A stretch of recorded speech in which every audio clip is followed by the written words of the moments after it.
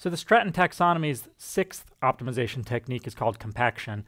And John has described compaction a couple of times. He described it in Unit 4 and revisited it in Unit 6, where it comes up in uh, sparse matrix vector multiply and in graph traversal.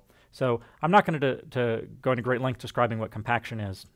But just as a quick review, compaction is useful when you have a computation to perform on a set of elements, but the exact elements that require computation are not known in advance. If most of the elements require computation, then it's simplest just to assign threads to every element and just have every thread check to see whether they should process or not.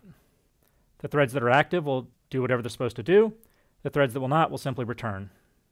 In that case, you'll end up storing something valid, some valid output in most cells, and the cells in the output, or the, the, the elements in the output where the thread wasn't active, because it didn't need to be processed, you'll end up just leaving blank.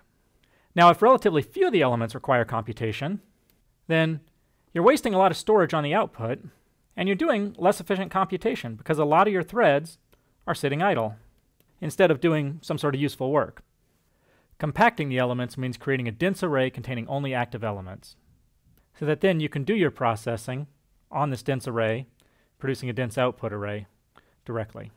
You're not wasting storage on all these invalid null output elements and you're not wasting computation on all these threads that are just sitting around not doing anything while the other threads in their thread block are uh, the relatively few threads in the thread block that have active elements have, have anything useful to do.